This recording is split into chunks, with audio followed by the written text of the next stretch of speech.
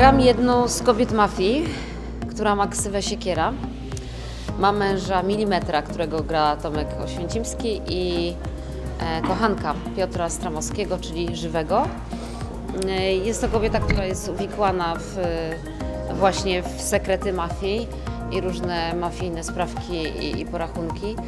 Natomiast jest do żywego zakochana w żywym i będzie taki bardzo romantyczny wątek e, miłosny. Dużo tam jest seksu, namiętności, jakaś szalona totalnie miłość, która będzie bardzo, bardzo pięknie przedstawiona w scenach, e, które nagrywaliśmy w Hiszpanii, w Maroku, w pięknym słońcu i w e, pięknych marokańskich wnętrzach, także naprawdę będzie się działo. Można powiedzieć, że mam z sceny z Olą Popławską, e, która gra Siekierę. Będzie, że tak powiem, kolejny filmowy e, e, związek, para filmowa. A tych par w tym filmie jest kilka.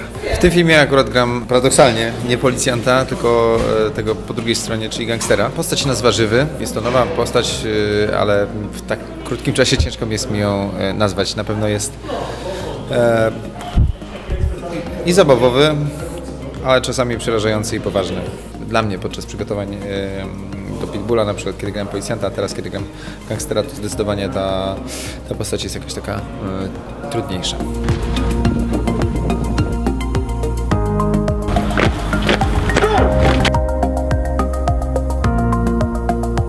Siekiera pokaże się tutaj z wielu stron. E, Ta, ta romantyczna i, i miłosna jest e, tą stroną, która mi się najbardziej podoba, E, ale niestety ostatnia scena moja w filmie będzie bardzo, bardzo okrutna. No po prostu jeden z bohaterów z moich prawie rąk zginie w bardzo brutalny sposób. Nie wiem, co tu mogę zdradzać, jakie szczegóły, ale, no, ale niestety nie, nie obędzie się bez takich krwawych scen. Faktycznie jest coś takiego, że jak się oddaje tę duszę temu diabłu, e, w cudzysłowie, to, to się robi niebezpiecznie, bo Patryk, e, sposób w jaki, w jaki prac- pracuje, gdzieś tam zawsze wymaga tej prawdy. Sam zaczynał od dokumentów, więc jakby to, to go najbardziej interesuje, a, a wchodząc na takim poziomie gdzieś w, w tej rejony zła, to może być nieprzyjemnie czasami dla aktora. Więc jakby na, na pewno jak jak się jest policjantem i ma się tę świadomość, że, że wszystko co robisz jest y, w imię dobra, no to gdzieś jesteś usprawiedliwiony, a, jak,